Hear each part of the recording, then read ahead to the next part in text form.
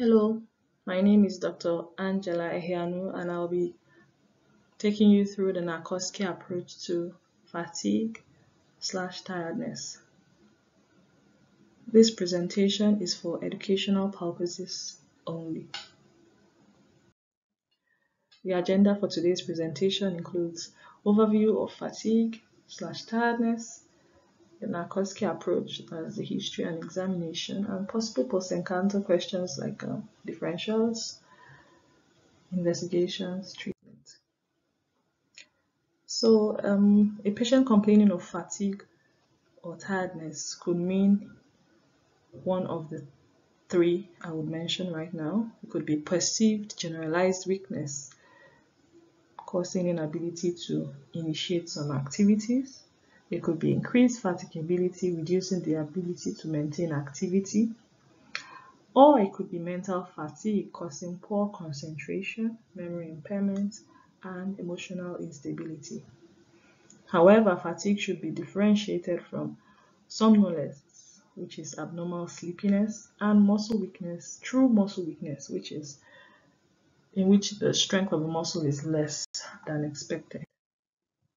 There are various etiologies of um, fatigue slash tiredness and cut across many systems, different systems.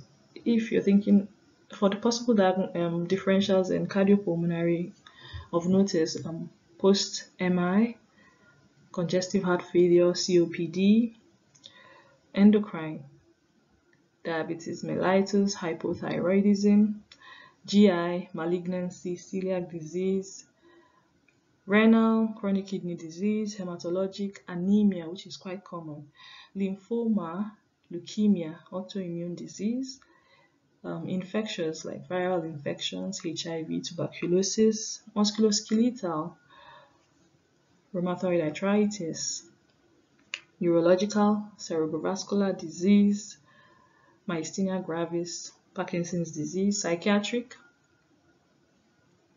you could think of um, depression, anxiety, chronic fatigue syndrome, fibromyalgia, and others like um, disordered sleep, some medications, or pregnancy. So before moving on to how you would start your history, well, before you go into the room, after while you read your doorpost, you should have set differentials at the back of your mind, like the ones I previously went through. And so, as you begin your history, you should note the age and the gender of the patient. This can help to, you know, shorten the list of differentials you have or narrow down the list of differentials. Usually the presenting complaint is fatigue. However, it is important that you elicit what exactly the patient means by the word fatigue um, note the onset, the duration, the pattern, the severity, aggravating and alleviating factors, and the cause. You want to know if it's stable or if it's worsening. And um, you would want you need to note any associated symptoms because that can you know guide you towards the system in which is um, the pathology is. For example, if there's shortness of breath, you could be thinking, could it be coming from the heart or the lungs, like um, congestive heart failure or COPD. The impact on life as well is very important. This is where your empathy should come in. The constitutional symptoms, not any constitutional symptoms like unintentional weight loss, fevers, night sweats.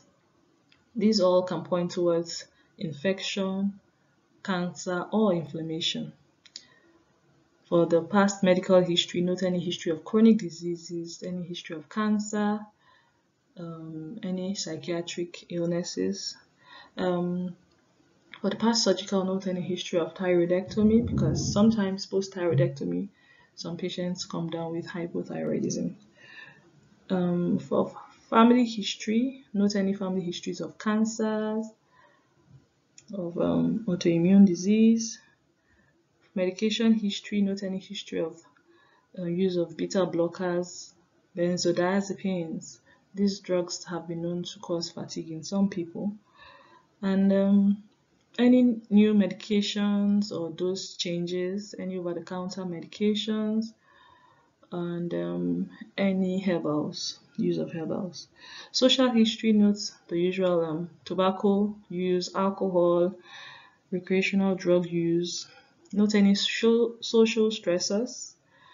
Note if there is any um, recent history of travel or immigration. This can point towards an infectious cause. Um, not any sexual history if it's relevant. So if you're thinking, could it be high, a viral cause like um, HIV or viral hepatitis? And finally, you need to review any system that has not been touched that you feel is important to review. Okay. And um, going to the physical examination, of course, you would start with um, the general physical examination. But however, your examination should be tailored to what the positives you got from your history. And so you know the general appearance of your patient, uh, check for any um, abnormal vital signs, um, the head, ear, nose, and throat. You should note any pharyngitis, pallor, ptosis, goiter. For neuro, you should note any focal neurological deficits, any nystagmus, abnormal gait, tremor. For cardiovascular, note any murmurs, any displaced apex, extra heart sounds. For respiratory, note any crackles, wheeze, or dullness palpation. For the abdominal, note any scaphoid abdomen, ascites, splenomegaly, hepatomegaly. For the dermatological, you note any jaundice, any rash that could point towards SLE, like um, photosensitivity rash, malar rash.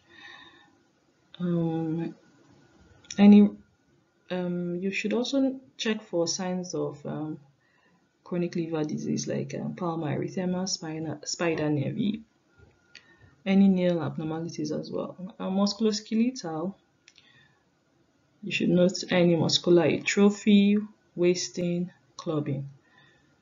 And um, psychiatric examination involves you doing a mental state examination. And so remember that your physical examination should be only the relevant things, the relevant positives that you'll be looking out for. So going to the post-encounter questions, like we've mentioned, we've gone through the, we've seen the possible differentials, and now how would you investigate? Depending on what differentials you have or you've listed, you'd want to rule in or rule out.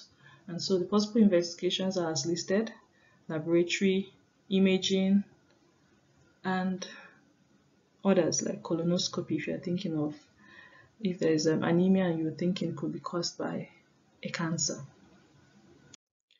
And treatment, you need to treat the underlying cause. And if the underlying cause is not known or is not found, even after various investigations and the examination, then you should think of possible um, causes like um, psychiatric causes like um, chronic fatigue syndrome or depression or even disordered sleep. And so you, the general approach would be to counsel this patient, um, introduce some lifestyle changes as listed. Um, any um, for pharmacological, if you're thinking depression, you could do a trial of SSRI or use of hypnotics if you're thinking it's um, insomnia. And of course, you need to refer for psychotherapy or group therapy. Thank you for listening.